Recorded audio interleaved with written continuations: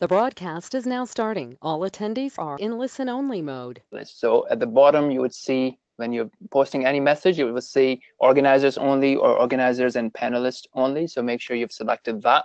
So that will be easier and we'll get your messages in real time. Uh, Dr. Fayaz, if you can start the recording, that would be great. And we'll, we'll begin, inshallah. Uh, Jazakallah khair, uh, Brother Zubair. How are you today?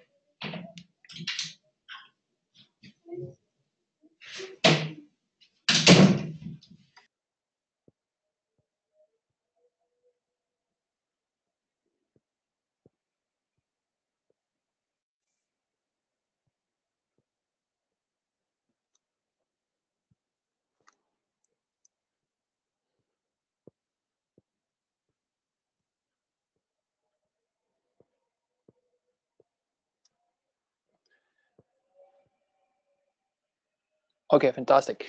طيب, Bismillah, alhamdulillah, wassalatu wassalamu ala rasulillah. Welcome everyone. Thank you for joining us on this uh, Sunday afternoon or Sunday night for those in UK. So this is our week five at UK Islamic Mission. So we have been covering, uh, this is our fifth webinar, and this is part three for new Muslim mentoring. So let's begin. Uh, before we go any further, uh, just a reminder for those of you who may have seen this earlier, we talked about this notion of luxury cars and how at different points in your life, we value different things. So there may be a point in our life when we did not value those cars. And if someone were to offer us, you know, a bunch of keys, which we would, might think, okay, very simple looking keys not very elegant, versus a bunch of colorful balloons, we would probably pick the balloons basically. And the reason is that sometimes we don't have the foresight to see what's valuable and uh, in the long run and what's not. Likewise, it can happen in terms of stocks and investment in business. Sometimes we may not value something, but over the next few years, we might realize that, look, this thing has really grown and matured, and I wish I had invested in that. So why am I mentioning this is because every day we have a choice of how we invest our time, what kind of resources uh, and what kind of activities we focus on and where we invest our time. So the Prophet of Allah sallallahu alaihi wasallam has told us that, look, if Allah were to guide one person by your efforts through you, it's better than you having a whole lot of red camels. And red camels is a very precious uh, thing to own, just like how you would imagine luxury cars dealership in today's world. So a brief introduction about myself in terms of my involvement. I have been involved in a lot of different Dawa teams, uh, coaching, strategy, relationships, uh, spiritual coaching, and uh, other things like that. For my day job, I focus on cybersecurity uh, as my trade. And uh, now is a reminder for four types of gifts that Allah subhanahu wa ta'ala gives us when we are focused and we are seeking the ilm of Allah subhanahu wa ta'ala, we're seeking the ilm of the, uh, the deen of Allah subhanahu wa ta'ala. And yes, this is a gathering which is not a traditional gathering where you're, you know, gathering in a masjid environment and you're physically together, but this is from the means that Allah subhanahu wa ta'ala has facilitated for us. So let us put our full focus and concentration in this and let us turn away any other multitasking that we may be doing during the live webinar or while we are watching the recording so that Allah subhanahu wa ta'ala ta'ala increases the value for us and increases the rewards, the wisdom, the facilitation, tawfiq, and the rewards for us all, bi'idhnillah ta'ala. Okay, so in terms of a review of what we have covered so far, so in part one of the webinar, which is available via Facebook and YouTube, uh, we covered about having our focus and objective clear when we are spending time in da'wah. What are the different risks a da'i is exposed to? and different types of success that we can experience as a DAO, uh, as a as someone in the DAO team. We talked about the notion of a customer success team, a convert success team. This? A convert support team. And what are the differences and why we need success teams to be in place and how different businesses are using these success teams to make their customers, uh, to make the people who they are serving successful. And then we talked about why should we bother about, you know, post shahada? Why should we not focus on, you know, giving dawah to non-Muslims and, you know, arguing with them and, you know, intellectually uh, putting forward our arguments and putting forward why Islam makes sense and leaving it at that when they take the shahada. Why do we need to continue? What is the importance of that? And what is the uh, importance of that that we see from Quran, Sunnah, and the seerah of the Messenger sallallahu alaihi wasallam? We then talked about the 80-20 rules, you know, what are some of the things that you can do to be have running an efficient team in your masjid, in your organization, in your MSAs or ISOCs, in your Dawah team. Uh, we talked about the suggested structure of a reverse success team. We talked about the stages a new Muslim may go through, and we uh, uh, helped you and supported and empowered you by different resources that you can use as you continue this journey. After that, uh, we talked about the notion of coaching. What is a coach? What is convert coaching about? How do you find new Muslims to coach or renewed Muslims to coach? Uh, what should you be discussing? Uh, what should you consider discussing in your first meeting in the initiation of that relationship? How should your regular follow-ups be structured? Uh, and we talked about structured studies. We talked about the halal and haram bombardment and how do you deal with halal and haram when it comes to converts. We talked about some common pitfalls and other tips. Then now today is part three, where we'll be uh, doing some introduction about a holistic approach to converts and reverts, and this can apply to other people in the community as well. We'll talk about a quick tactical way of coaching and the three pillars of tactical coaching. Then we'll talk about more strategic coaching and intervention and the five components, five pillars that you want to use for that. And then we'll give you a roadmap a model in which you can take someone, and it could be yourself, it could be someone that you're developing, and how they can basically unlock themselves, they can find breakthroughs in their life, and they can holistically grow in different areas of their life. And then uh, we'll touch base on some of the most common obstacles that people encounter when they're embarking on this journey of personal growth and development. So this is not something that you will, you know, attend a webinar uh, for a day or a, an hour and a half, and then you'll master it. For like any other trade, like any other knowledge, you need to take the knowledge, understand it, and then use it for you to be able to internalize and master it. So if you really want to benefit from this thing, you have to have that intention and a solid action plan to following up with all the knowledge we have been giving you in these five webinar series and then get out there protect yourself and do the work of da'wah and development uh, for converts and we will support you from our side. We'll support you with, uh, with in terms of case studies in terms of follow-up support via email whatsapp calls whatever you need. So inshallah we'll follow up with our commitment side of thing. But the point is will you be taking action with the knowledge that we are sharing? So we talked about all this stuff that you know some of the amazing possibilities that can come out of uh, convert coaching. Uh, we shared some stories with you.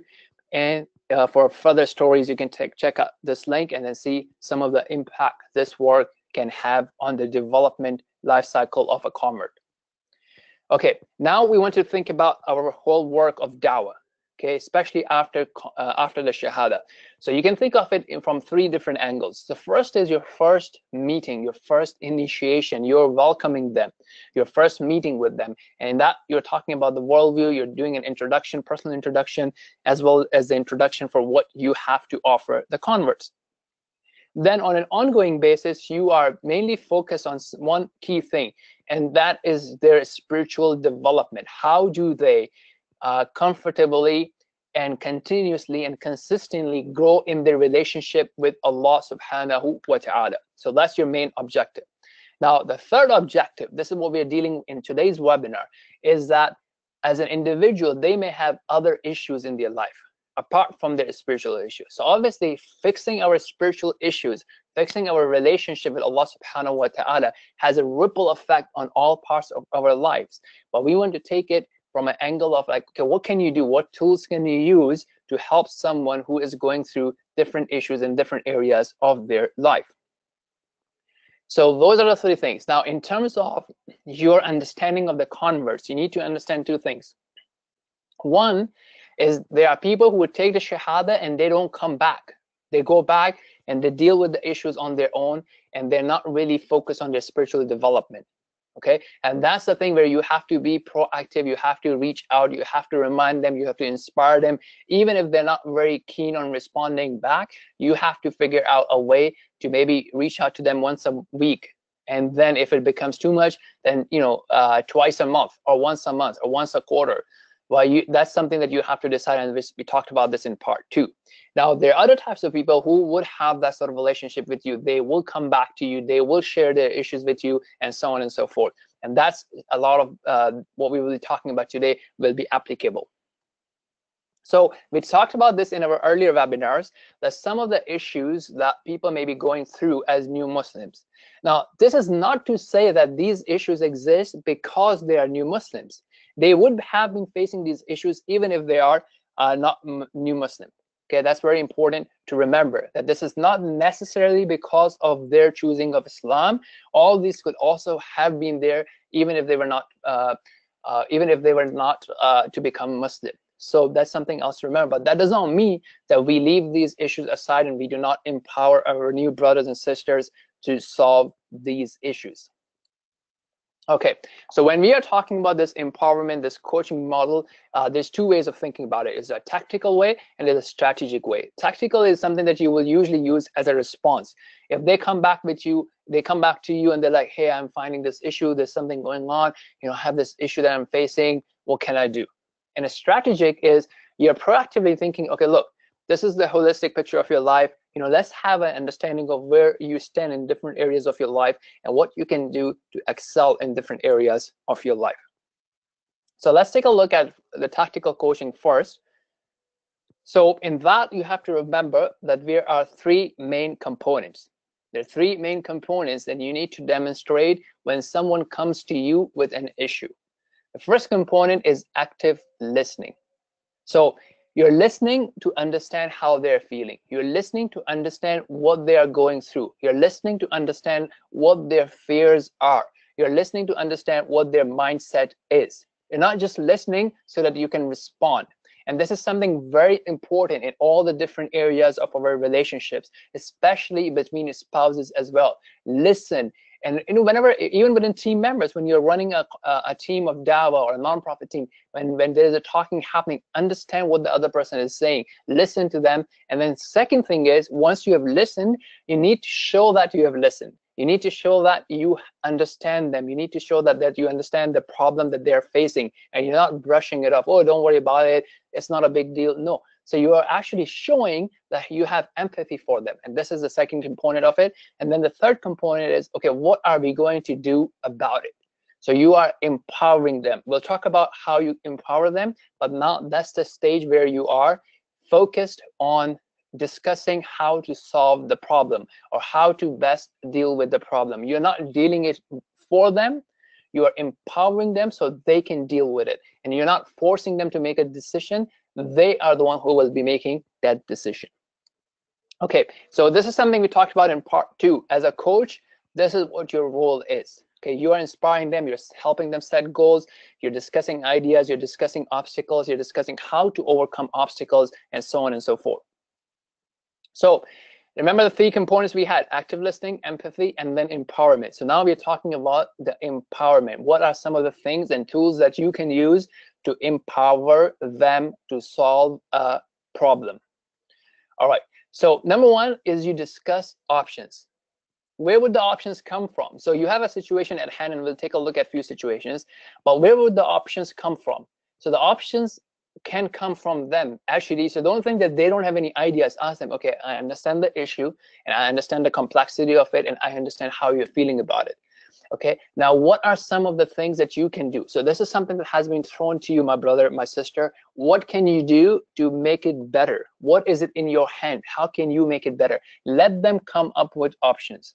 Then you may be able to come up with some options based on your studies based on your um, experience and so on and so forth and then the third way that you come up with options is by consulting other experts in that area. It could be other people who have gone through similar situations or other coaches or your you know wider network of coaches and so on and so forth. So that's how you're going to gather a bunch of options.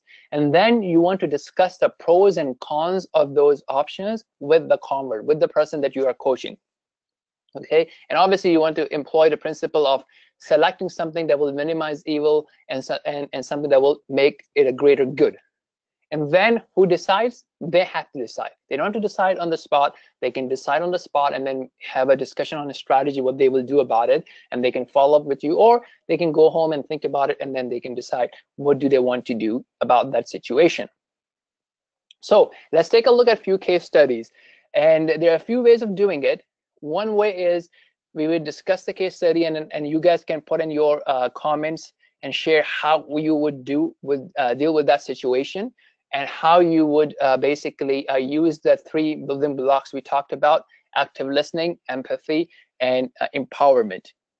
Or what we can do is depending on your uh, participation level uh, we may be able to, we will just continue the content of the webinar and then we'll come back to it at the end of the webinar and maybe discuss how uh, you would uh, solve that. So let me just try and see if, if you guys are participating and then we'll take it from there. So this is case study one. What would you suggest in this situation? What would you say if Dan comes to you? What would you say to him or her? Let's see if we get some participation.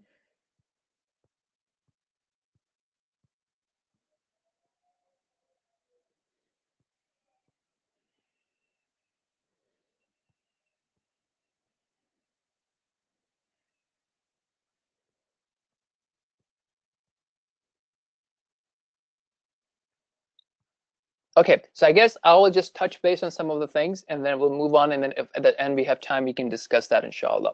So obviously, first you have to understand that how the person is feeling, right? So I would probably ask, okay, why does he need to tell his parents? What happens if he does tell them? What happens if he did, does not tell them, right? What are some of the things that he or she is afraid of?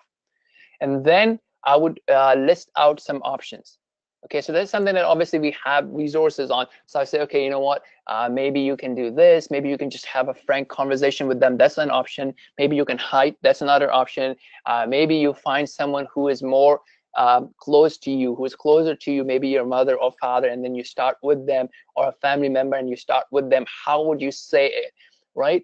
And then maybe you know I would also reach out to my you know uh, bigger coach network, like for example, the WhatsApp groups that we have and say, okay, how have you guys dealt with situation in the past? And today, if someone comes and asks me, I have video recorded on that. And then I say, look, these are a few things to consider and so on and so forth.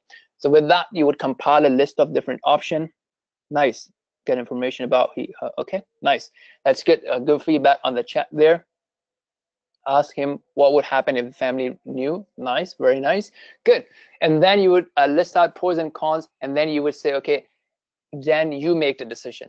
Please make sure that you do not make the decision for them because if you say, okay, you know what, I think you should go and tell them.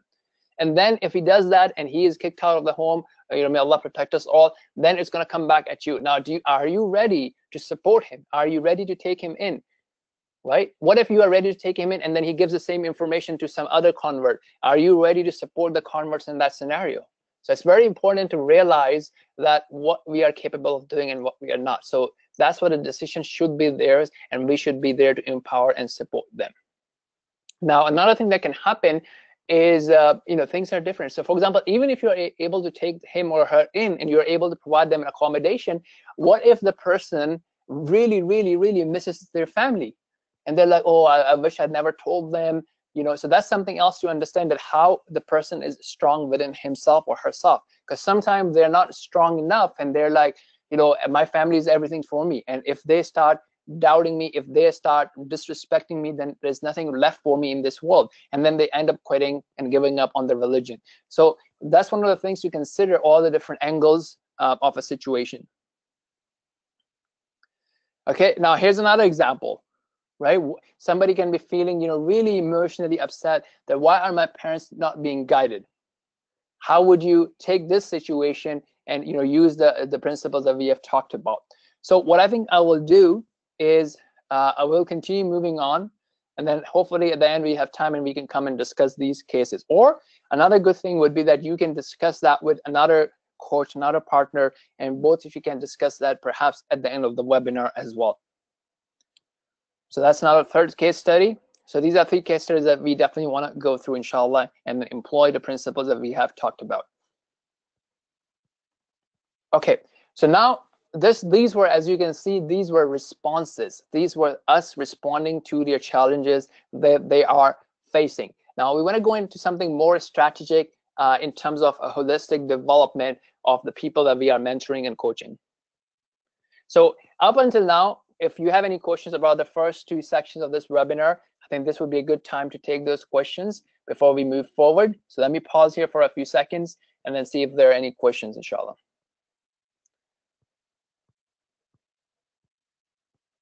As a friendly reminder, when you're typing the chat box and under that chat box, you would see two. Um, so please use uh, organizers and panelists. So I would see your questions right away and then Dr. Fayaz does not have to copy paste those in. That can save us some time, inshallah.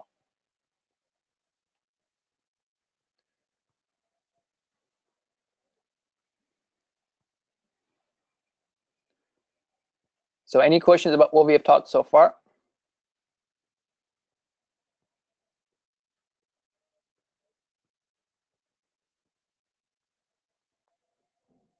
All right. Okay, so let's move on into the strategic component of coaching. So we have five principles here. We have five moves, five principles, or five pillars, uh, however you would like to call them. So number one, when they are talking about something, and this could also be in, in uh, this could also be employed when they are coming in for a tactical solution, and they're coming in for a situation that's at hand. So if you can improve their emotional state, if you can improve how they're feeling at that time, it would help them come up with more uh, powerful ideas. It would help them come up with interesting ideas that they would not be able to come up with if they're emotionally really, really down. So that's something very important to keep in mind that, and sometimes it may be like, you know, you may just use, for example, the notion of active listening and empathy. And based on this situation, you may not be able to empower them. And you may have to say, okay, let's do, go and do this activity. And then we can discuss some of the options on how to deal with uh, this situation. So the empowerment stage may not just come right on the spot. You'll have to judge, are they in an emotionally well state to discuss empowerment ideas, or you need to postpone that to a better time. So this is something very important. Like, look, the way we are feeling has a, has an impact on the actions that we will take, has an impact on our ideas, and so on and so forth. It's vice versa as well. So this is an important thing to keep in mind. Now, what can you do to help them feel better? What can you do to help them uh, come at a better emotional state? So obviously one uh, idea is to help them realize that, look, this is all temporary. This is all in the hands of Allah subhanahu wa ta'ala. He is still in charge and he is the best decision makers. So, you know, don't, don't overburden yourself. You know, remember that Allah is in charge and he has a plan and we only have to think about what are we doing in this situation? Am I doing my best in this situation, right? We don't have to overburden ourselves right? Sometimes we overburden ourselves that look, if I don't act properly, the world is going to shatter. It's not the case, right? Because Allah is in charge.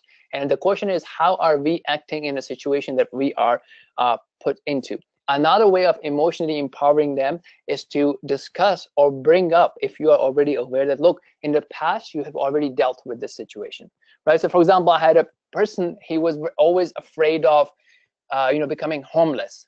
Like, okay, look, you know you have had tough times in the past but you have able you have been able to you know manage it well and you've been able to pay your rent and so on and so forth. You've never been homeless homeless anyways right? So now if you're always afraid of it you're going through the experience of being homeless even without being homeless. So allah has protected you all across the years and you have been able to manage it. Now if you keep thinking about it every day, then it, it's like you're going through that experience, you're going through that hardship, even if in reality you're not becoming homeless. So you can use past success on how they have managed to do uh, great things in the past. And then you discuss with them future possibilities. So for example, in the case when the person was you know, concerned about their parents, or someone parents may have died you know, without Islam. So you, you need to paint a beautiful picture for them that look, yes, that was you know, a mishap that's something that we would not you know appreciate. And said that's something that's really painful. And the prophet of allah sallallahu alaihi wasallam also had to go through this pain. But now imagine what can happen after what can happen in the future. Maybe allah will bless you with a family. Maybe allah will bless you with children that would basically carry the flag of islam. That would be the du'as that would be like the businessmen that would be like the um, uh, the doctors that would be the people who would do great things for this world while being muslim. So imagine that you living in paradise with this whole big family of yours right? So you're painting a, a better uh, future that is exciting for them so you're taking them away from what has already happened and what is possible for uh, it to happen to them. Another interesting and easy idea is to help them change their physical state. Go on a walk, go on a run, go in the nature, go for swimming, whatever. Do something that will, or play a sport that will help them, you know, uh, physically change their body, and that will have mental impact as well. Or go do something fun, right? So it could be just playing a sport uh, or watching a documentary, watching something that's, you know, a bit fun or just hanging out with people, going on a dinner, going on for coffee in a nice cafe or a nice environment, going on the lake, in the garden, in the park, so on and so forth. Another way of doing that is to find someone in the community and help them together. So you go and, for example, serve food in the food bank or serve soup or you know uh, buy some accessories and go and give it to someone who is homeless you know so on and so forth so that would also make help you elevate the emotional state of the person as well and likewise if you visit someone in a tougher condition right at hospital on the street uh, somewhere or watch or document you someone who is in a much tougher uh, condition that can also help elevate the emotional state and uh, make someone grateful for what Allah subhanahu wa ta'ala has given them. So here are some resources for that. So uh, seven uh, practical steps to feel amazing right away. Uh, short videos on these things and mindset empowerment videos uh, could be other things that you can use uh, to help them change their state. Now, remember, we're talking about the five pillars. We've just touched upon the first pillar, which is the emotional state. Now, as we're talking about strategic, right? So you, as you realize that you're working with someone and they have this issue that they get negative, you know, most of the time, every day or every other day, they're focusing on things that are, you know, uh, disempowering. They're thinking, oh, what if this happens to me? You know, I'm not happy. I don't have this. You know, I'm struggling, so on and so forth. So some of the habits that you can use, and alhamdulillah has worked great for me uh, dealing with a lot of different people, is to encourage them to take notes right? So every few hours or once a day or twice a day, they need to think back and, and look at really something that's going well in their life. Okay, and should not be something very superficial, but something they need to feel from their heart. What is going well in my life? So it could be like, wow, man, I have a child. You know, how many like uh, how many people don't have their children, right? They have died for one reason or the other, or they're hospitalized, whatever what is it that you're really really uh, you know happy for? You know I have clean water to drink. Is this something i can take for granted? I have the ability to drive my own car. I'm not dependent on other people driving me or putting me on a stretcher whatever right? So help them write down one unique thing every day or twice a day or thrice a day. It can also be used for when i do relationship coaching like okay or every day write down one thing that you are grateful for from your spouse what did he or she do today that was a great thing that was a really huge help for you that meant a lot to you okay? Uh, another thing that i've found very useful is that you know some of these empowerment quotes or you know for example hadith of the day or verse of the day such as in muslim pro you see that every day now right? Or whatever they find empowering or whatever they find a good reminder to them they can put that in on their phone and then they can set a reminder okay show me this verse you know every day at this time or this another quote every day at this time. So they can use these type of things and you can help them so that they can come out of this negative mindset and, and most of the time in their day they will be having um, a productive uh, empowered a strong mindset and they will be emotionally better right? Likewise you might want to incorporate some of these things daily right? So for example uh, uh, physical exercises changing your physical state. So maybe incorporate uh, act exercise activity daily in their lives or you know uh, once a week to go and help someone who is in a difficult situation and so on and so forth. Uh, from a future possibilities perspective maybe they should write down their vision of the future and maybe they should read it every day. Why not? So all these things are really really really powerful and that can help people in be in peak emotional state most of the time most of the time. Okay now the next thing is so that's the second pillar is what are we focusing on what are we focusing on? And that's also very important. So are we focused on the problem or are we thinking about the solutions? Are we thinking about what are we going to do to solve the problem or to make it make it easier or to make it make our situation better? So some of the examples that you would see that people lose focus on is sometimes they're focusing a lot on creation oh why does this person not love me? What if he or she does not support me? You know i will not be able to accomplish my vision. I will not be able to grow. They're not focused on creator who is most just. And we'll talk about this example uh, later when we talk about validation. But look you can seek your validation. You can seek your support. You can seek to be beloved by the creator. And that's easier because he is just. He knows everything. Creation on the other hand they have their own blind spots they have their own issues. They're not just all the time. They have their emotional issues which may have an impact on how they speak to you.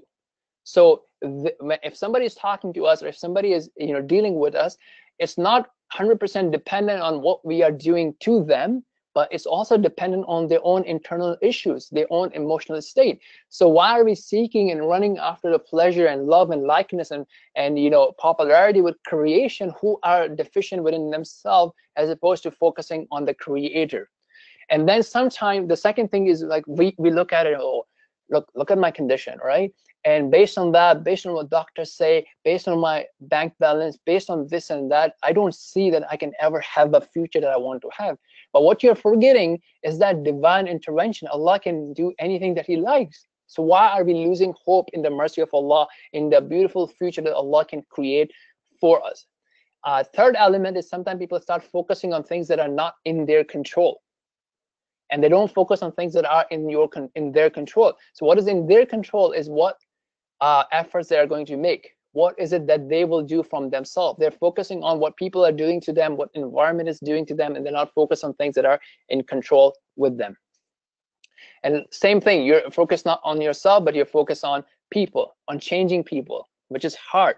Changing yourself is easy. Focusing on what efforts you will do is easier than focusing on results. Because sometimes, let's say if you want to give dawah to a person, if you already focus on okay my success my happiness is if this person becomes muslim if this person starts practicing five times uh, praying five times a day.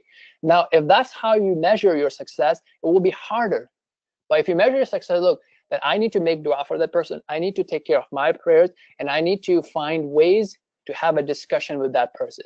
Once a week once a month twice a month whatever. And as long as i'm doing that alhamdulillah i'm happy so if someone measures their success like that, that will that person will be much much happier than someone who does not. And likewise, someone is like looking at the fear versus the future possibility, the future vision that they have created, and getting closer and closer to that. So again, in terms of uh, improving your focus, in, in terms of having an empowered focus, you can use some of the same techniques uh, that we uh, discussed in pillar number one, which was being in a peak emotional state. So now the third thing, the third thing that we want to focus on is what would we do? What would we do when something happens to us that we do not like? What meaning will it we give to it and what kind of move will we make to deal with it? So if something happens to you, do you think it's an absolute good thing or an absolute bad thing? Is this the beginning of a new challenge, a new phase of your life, or is this an end? Is this an opportunity for you to grow or will you make it an opportunity for you to be knocked out? So let's take some examples.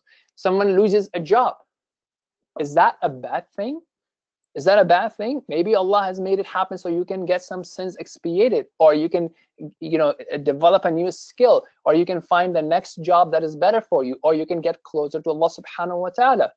If someone gets divorced, does that mean that is the end to them being a great father or a great mother, a great husband or a great uh, wife, or no, that marriage was good for them up to a certain extent, and Allah will now take them in to a new relationship where they will learn from previous experience and they will have a much better experience going forward.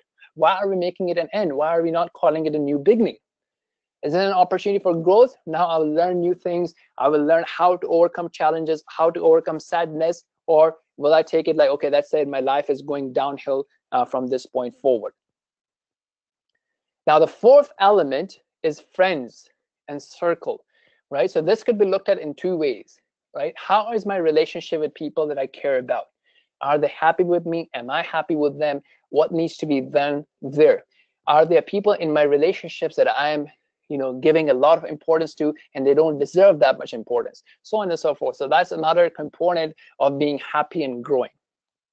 So first uh, first thing is what we talked about earlier as well and that is the validation factor. So what may happen is that sometime people may see that look you know this person does not respect me or he or she is always putting me down or he or she is always doubting me so remember what we talked about earlier when we were talking about creator versus creation. So creation has their own shortcomings. They have their own shortcomings. They have their own internal issues. So if they keep saying something to you and you believe them and you start seeing yourself as someone who is not capable, whose fault is that? That's a faulty mirror that you are viewing. This mirror is twisted. It's a funny mirror like you would see in some sort of an exhibition or some sort of a you know fun fair. It's a funny mirror. It's not a true mirror. So you need to be able to view yourself in your own eyesight in your own way because you know yourself better. And you need to view yourself in in terms of what quran says about qualities that you need to develop to be successful. For example quran says that you need to uh, use patience, as sabr, and salah for you to be massively successful. So why would you not use that? Why don't you ask the question that how does Allah view me? How does Allah view my efforts instead of worrying about how does uh, people view you? And that's something that really, really puts people down, converts and non-converts as well. Another way could be that look, you know, people may have disagreements just because of their culture, just because of their perspective. So it's not always worth trying to change the perspective of everyone. So you may have to agree to disagree at some times. You may have to choose to get into a debate, but then the question becomes, how often do you want to debate? So in a, in a sense of, for example, when we were talking about, you know, new Muslim telling their parents about Islam, you know, one of the things uh, that I recommend is that it should not be a discussion of all the time because it will really make it hard. So um, in, in, in that scenario, I would recommend that, look, you set up some time once a week or once a month or whatever, and you discuss these issues and you listen to each other and you discuss. And rest of the time, you're not discussing that. And that could also be used uh, for a couple who is having uh, arguments on important topics. That instead of doing this argument every day, 24/7, and having a miserable life, you you uh, out some time and you only discuss those options at a specific uh, time. And obviously, from a different angle, maybe some of the things you don't need to uh, argue about it's okay for you to have each have your own opinion about it or for you to give up on some of the things. And this is something from our deen as allah's messenger sallallahu alaihi wasallam has taught us uh, the reward for the person who does not argue even if he's right. Okay and obviously that's in certain situations. Not when when there's a matter of haq and batil right? When there's a matter of truth and falsehood right? So it depends on situation to situation but it's important to remember that you don't have to argue all the time you can argue at specific times. You can let go of some topics and so on and so forth, depending on the impact and the seriousness of that topic. Let me take a quick sip of water. Good. So let's move on. Now, the fifth element is that you need to now think about something very important that your small, consistent habits that you may not pay attention to, like what's the big deal about this? Right, can become massive actions and can have magnificent impact on what you want to do in your life.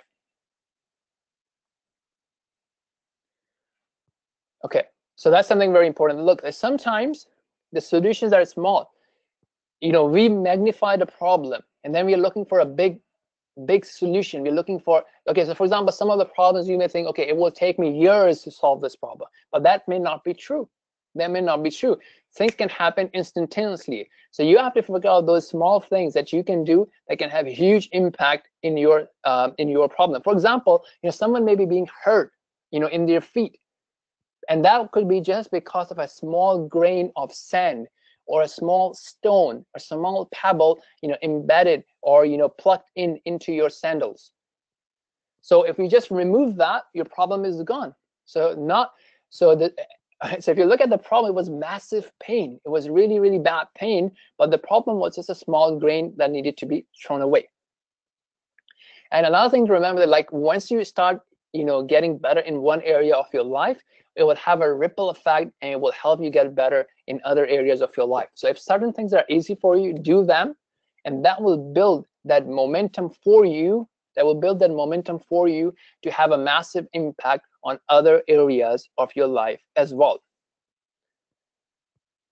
Okay, so how do you do that?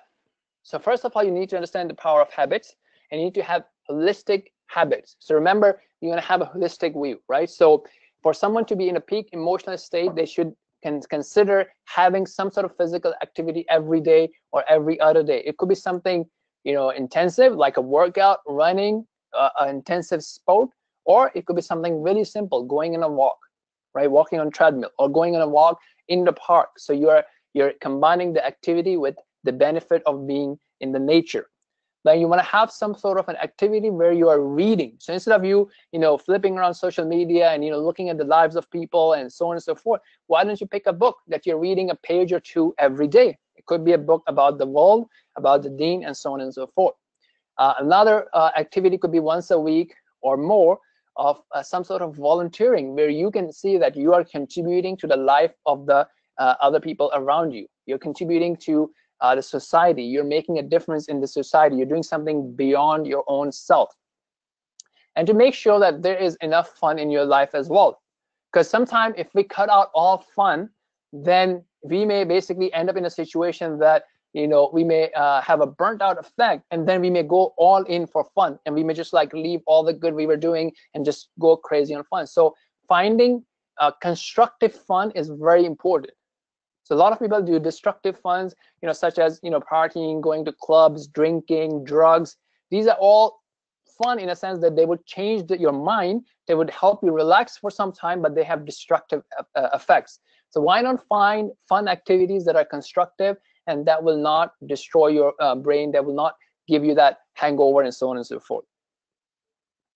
So how can you then basically uh, uh use that? Is you can use some of the apps that we'll talk about at the end uh, on what you can do to manage and monitor your uh, growth in terms of different activities. So now that we have covered that, and we'll go on a step-by-step uh, process of transformation, let me just pause here and then see if you have any questions about the third topic for our webinar, and that were the five pillars of strategic coaching and intervention.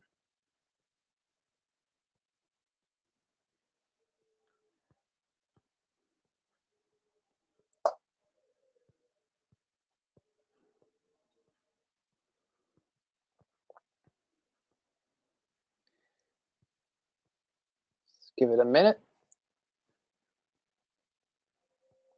And this is also a good time to stand up and stretch a bit if you like.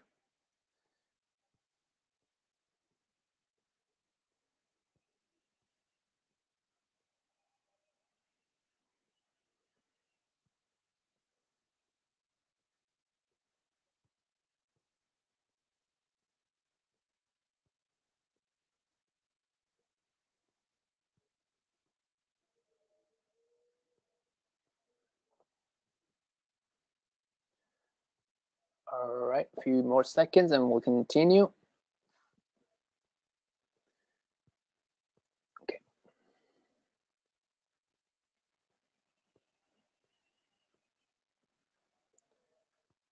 Okay, let's move on. So here's what I would do.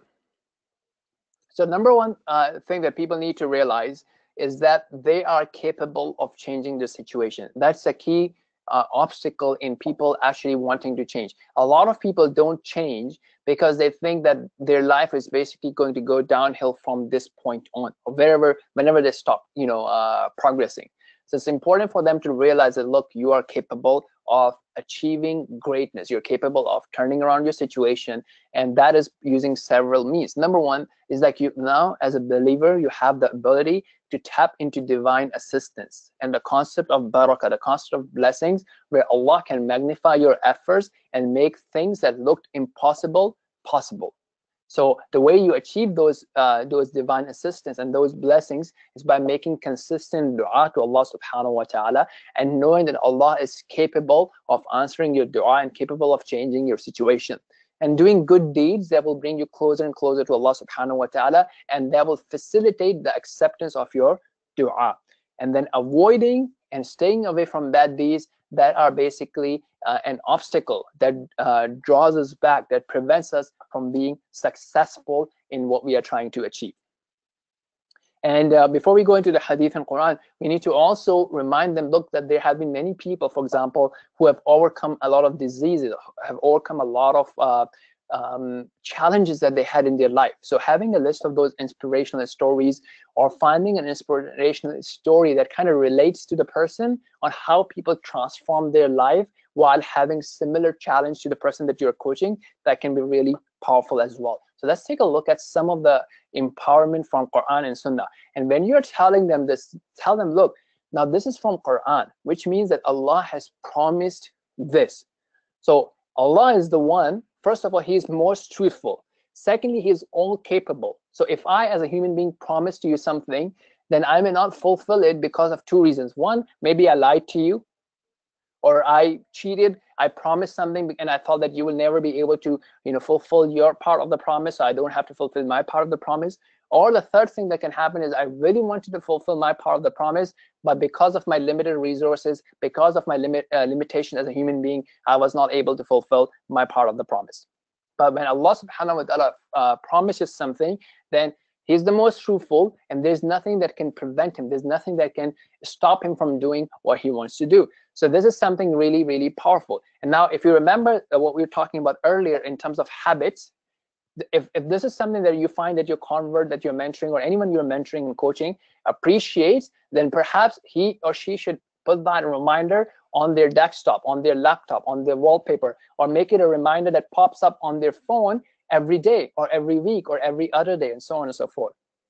So, and these are things that I'm not just saying, I, have used it personally, uh, these reminder habits, and I've used it with other people and they have really, really helped. So Allah subhanahu wa ta'ala says that, look, whoever fears Allah, okay, he, meaning that he keeps his duty to Allah, he keeps the rights of Allah, then Allah will make a way out for him. Now, how Allah will do it, I don't know, but He will find you a way. And if we look at our lives, we have seen this happening for us. And Allah will provide him from ways that he cannot imagine. How many times this has happened, whether it be job, you know, a marriage, um, uh, a health condition, and Allah finds a way, Allah finds a treatment, Allah finds a partner, Allah finds an opportunity that we never thought that we can get it from this way or that way, but it just comes in our way. Okay, and look, what does it say? That Allah uh, will be sufficient for someone who truly trusts in Allah. A true trust is someone who basically knows that Allah is the one who is fully in charge and can take care of what the person needs and protect the person from what the person uh, can, what the what is harmful for the person, and he is making his effort. Allah will be sufficient for him. And then look what it says. And then Allah will accomplish His purpose. Whatever Allah wants to do will happen, and everything has an appointed term, appointed decree in the in front of Allah Subhanahu wa Taala. Now, the second thing that they need to do so first thing was they need to realize that it's possible. The second thing that they need to do is raise their standards. So everyone has different standards, right? So for example, if you are hungry, if someone is hungry, there's only a certain type of food that they will eat. There's certain types of food or certain quality of food or certain condition of food that they find disgusting and they, they find gross and they will never ever eat it unless it really becomes uh, a, a life-saving situation. So likewise, we need to have raise our standard in terms of you know our own habits, our own commitments to Allah subhanahu wa ta'ala. Another example of that is like some people have you know pets, okay, and they would take them out at 5 a.m. in the morning for a walk just before they go to work because they know it's their standard that they have to show care for the pet. Okay, sometimes you may be going for Fajr and driving for Fajr, and as you're coming back, you see people like in the dark walking their dogs. So something to think about right? Uh, some people would just wake up and feed their cats. You know, some people would have that sort of a standard when it comes to customers or business meetings. So everyone has standards. So what are the standards that we have when it comes to the obligations that Allah subhanahu wa ta'ala has put forth? What are the standards that we have in terms of eating healthy and working out and doing some sort of physical activity and, you know, uh, taking care of our brain and our mental health? So what standards do we have? So we have to raise our standards and take ownership of our situation instead of just blaming the situation, blaming the conditions that we were raised in, blaming the environment, blaming the government. So that's the second thing that people need to do in order to change. Now, from a hadith perspective, look at this, and you will see that it kind of relates to the five pillars we talked about. Like, look, first of all, it talks about, look, um, be mindful of Allah and Allah will protect you. So that's, you know, um, the notion of spiritual, you know, tapping into divine assistance, you know, staying away from bad things and doing the good deeds. Okay, so that that sort of mind frame and being mindful of Allah and you will find it in front of you, right? So what are you focusing on? Are you focusing on the creation versus the uh, creator, right? Whose help are you seeking? Whose help are you relying on? Okay, and then your mindset about the people that they cannot harm or benefit you except by what Allah subhanahu wa ta'ala has written for you. And then finally, if something happens to you, if something happens to you, so this is remember our third pillar when we talked about what meaning we will give, what meaning we will give uh, to painful situations that happen to us and how we will take action. So this is again very prophetic advice on how we should trust in the decree of Allah subhanahu wa ta'ala. So again, remember what we talked about earlier. If these things are powerful and you find it powerful and the person you're developing coaching is find it powerful, then it should be on their phones as reminders on their desktop, on their wallpaper, on their journal, on their diary, and so on and so forth. And this is another narration. Look, uh, remember, um, for example, it, it, talks about victory comes with patience, right? So looking at the future, you know, uh, painting a, a, a beautiful fu uh, future is super important. And hardship comes oh sorry ease follows the hardship and ease follows the hardship. So this is something again from a futuristic perspective. So these are all powerful empowerment that we have from quran and hadith and there are many many other examples of these as well. Uh, such as okay so that was that. Okay now step number three. Step number three. So step number one was what? Knowing that it's possible and b taking ownership of it, raising your standards, raising your efforts, raising the quality of time that you want to spend, and you know uh, on what things will you spend, and what thoughts you will focus on, what thoughts you will uh, throw away. All these things are part of the standards. Now, step three is to set some specific goals in different areas of your relationship. What do you want it to be? You know, paint your future, paint, uh, uh, write your vision, write your dream, and so on and so forth. So once you have done that, then you're discussing habits that will help you get closer to those goals. Okay, your habits, your rituals will help you get closer and closer to the goals. So once you've decided on those habits, and we have talked about a lot of different habits before and in part two as well, then you can use different things to share your um, scoring with your coach, for example. So they can use uh, an app, amazing app called Habit Share, right? So they can create some habits in terms of reading, activities, you know, deen, uh, studying, applying for jobs, applying for you know marriage, whatever it is that they, their goal is, they can put habits on that and they can share uh, with your with the coach if they like. And if they want something really really holistic, I've seen, shown you some uh, Trello examples before, and something else will come in, in, on the next slide as well. Then they can use this holistic system. It, we don't have really have time to go into this, but it's all recorded. If they if someone wants to really uh, do a holistic change and a holistic planning, uh, they can do something similar to what we have uh, in this document, Unlock Yourself. And we have a video about you know uh, making each day count towards your vision, and so on and so forth. So as you can see that this is like, you know, uh, a Trello board for one of the people I was coaching uh, in terms of their daily uh, habits and activities, what they want to do in terms of their relationship with Allah subhanahu wa ta'ala, their future ideas, and so on and so forth. And what have they been uh, accomplishing uh, during that year. And that's also very important to look and celebrate our successes because that's kind of like, you know, if you remember, we talked about this bullet point earlier, and that was a notion of tapping into and reminding them of their past successes. So once you do that, then they can do daily updates. As you can see that uh, there are different daily updates about you know their Quran reading, their observation, the successes, or weekly updates as well. Okay, now, now fifth point is when you have these habits, you need to audit them and you need to adjust your plan uh, as you learn from your week to week. So as you learn from week to week uh, what you're doing and what's working, what's not working, are you getting close to your goals? Are you missing your habits? So you need to see, okay, why am I missing my habits? And then you would come to realize that, look, maybe I don't have a specific time I'm doing those habits. Uh, maybe I'm, you know, multi-committing. Maybe I have made a too tight schedule. I don't have any buffer to rest. Uh, maybe I need to join a class. Maybe I need to do it with a friend whatever. So those things will come in uh, when you're auditing your plan, when you're adjusting your plan for you to be able to achieve more. Okay, so this is the notion, right? So you make a plan, you act on it, and then you check what's going on, you adjust it, and you keep repeating this cycle. So when you're doing the audits of your weekly activities or your weekly progress, think about it. Like, look, what habits did I set? Was I successful or not? If I was not successful, why did I miss it? Is it really important for me to stick to this habit or maybe I can throw it away and replace it with something else? Or is it because, again, as we said, I need to schedule better, uh, I need to do it with a teacher, I need to do it with my friends and so on and so forth. I need to make it exciting for myself. Okay, and then also to review, why is it important for me? Why do I want to be healthy? Why do I want to lose weight? Why do, why do I want to uh, uh, strengthen my relationship with Allah subhanahu wa ta'ala? Why is this important? What would happen if I don't change? What would happen if I don't make it? What have happened if I don't do my habits? What are the results of me, you know, ignoring my habits? Because that would make it real for you.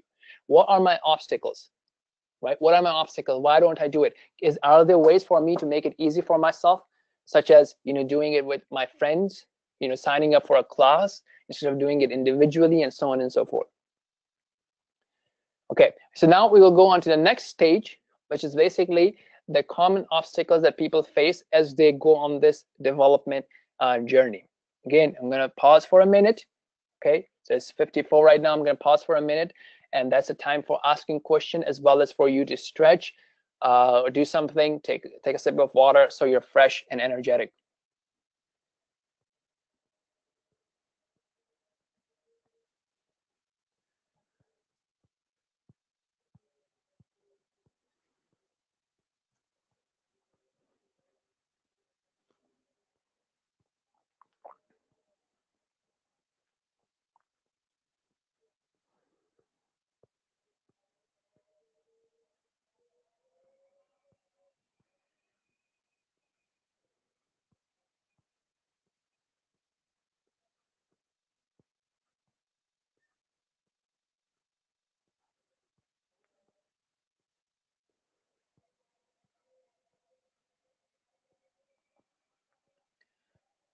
Okay, so let's continue.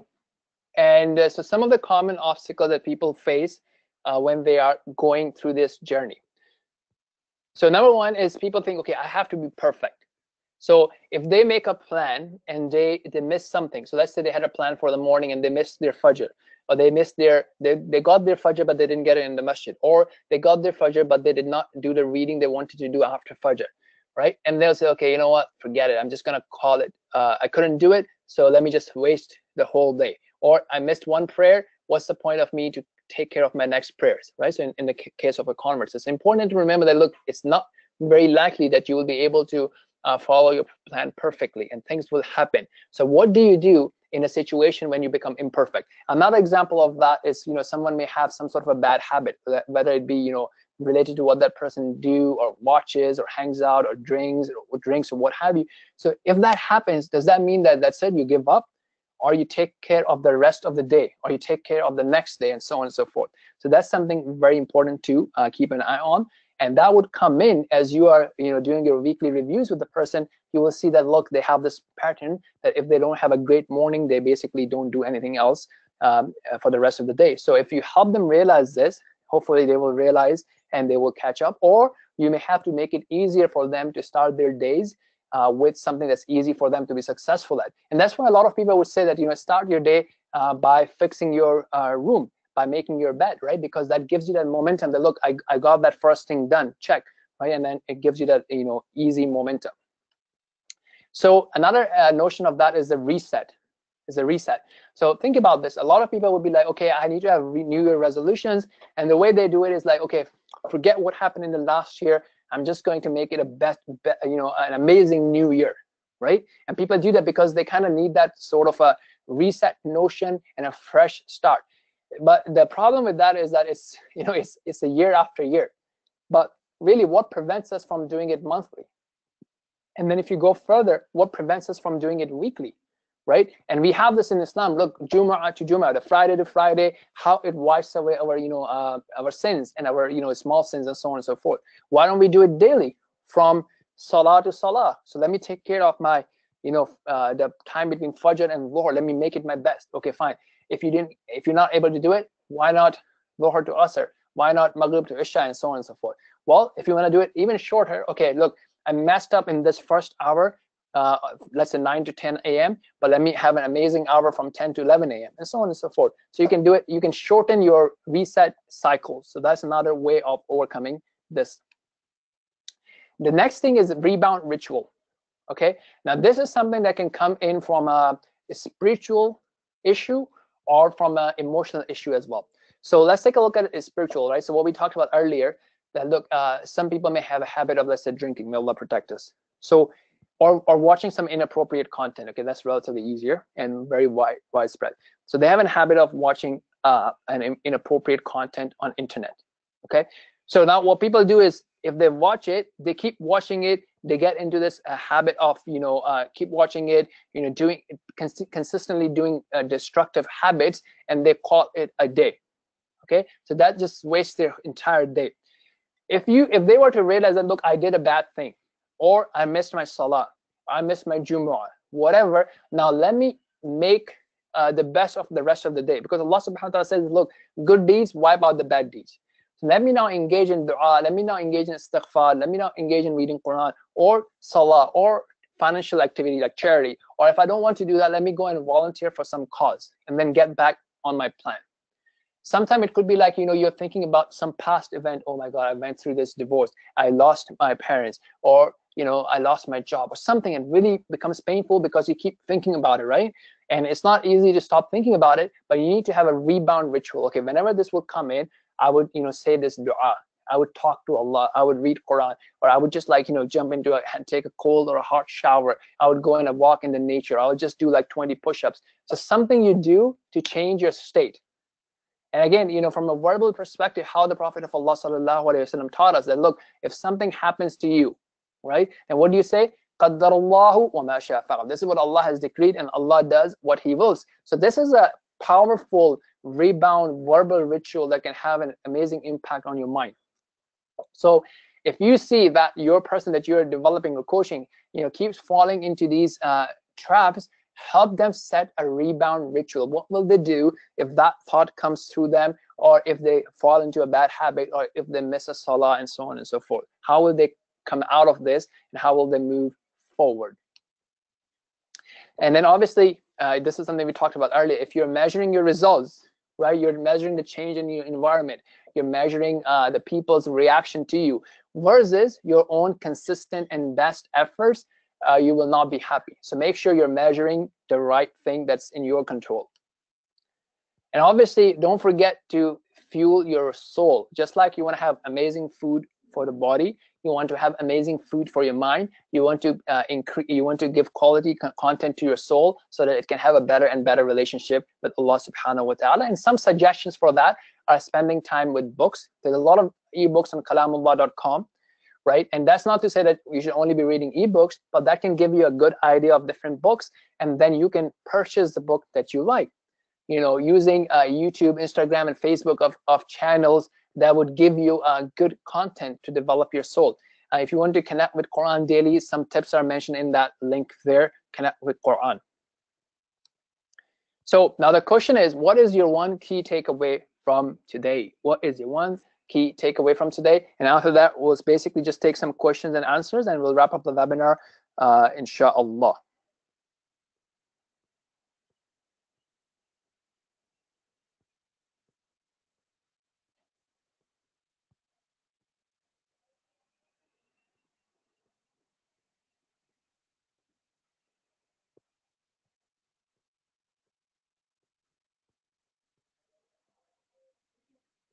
So let me know if you have any questions uh, or what is your key takeaway from today. That's very important to, to think about. Even as people who are watching the recordings, inshallah, think about your key takeaway. And again, as a friendly reminder, when you type your question, make sure that the to field is pointed to organizers and panelists.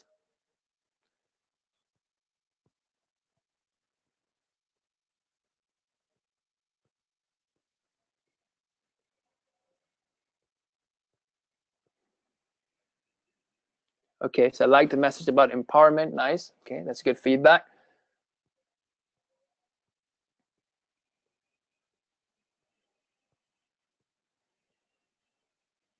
Okay, so I'll just like show you some of the resources that we have there. And uh, in the meantime, you guys can put in any questions that you have.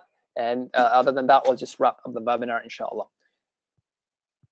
Okay, so some of the things that you can do uh, now basically is to join uh, different WhatsApp groups where we have uh, for different sorts of discussions. So this is a group where we can discuss specific situations and brainstorm ideas and pros and cons. So basically the empowerment ideas depending on the situation.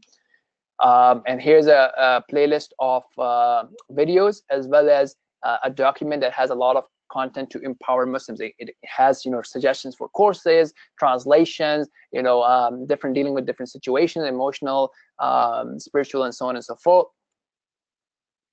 And then these are some of the, it's a group for any activities, any webinars, any uh, courses, any content that's coming up that can be helpful for coaches. And this is the content that, you know, that can be consumed by reverse directly Yes. Uh, so could you please send us the WhatsApp links to share with everyone too? Yes. So basically, you should all be getting the slides for all the five webinars if you have registered. If not, then you can send an email uh, at the UKIM address and they will send you the slides. And obviously, once you have the slides, then you have the links to the WhatsApp as well. So, okay. So in terms of action point, you know, I definitely want to know, like, you know, if we have coaches from different parts of the world, it's a good place to know about who is where so we can, you know, recommend people. Um, WhatsApp groups, video and content. This is another interesting webinar for uh, your um, in terms of developing content, uh, in terms of content about connecting with Allah subhanahu wa ta'ala and uh, obstacles in that. So that's something I would recommend watching as well. And yeah, so these are the links for the documents I've mentioned earlier. This is uh, some of the headings that we have within the empowerment document. Oh, in terms of books to read, uh, here are some interesting books. It's, it's written by contemporary Islamic scholars uh, means for a happy life, enjoy your life, and don't be sad. These are amazing books. Again, so you can find e-copy online. And if you or you, the person you're coaching likes any of those books, they can purchase the hard copy as well. Nice. So the email address you can see on the chat is do at ukim.org uh, for to get access to the slides and so on and so forth. Okay, so again, remember my commitments. Inshallah, I'll be there to support you uh, in this journey, but you have to fulfill your own commitments, inshallah. So final advice, be inspirational. How can you be inspirational? If you are setting a good example.